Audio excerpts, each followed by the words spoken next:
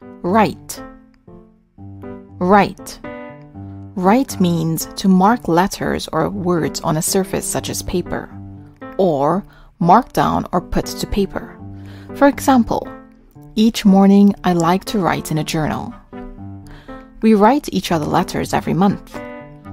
Please write my name on the list of attendees. So next time you mark words on a surface, why not use the word write instead? Hit the like and subscribe buttons for more videos like this.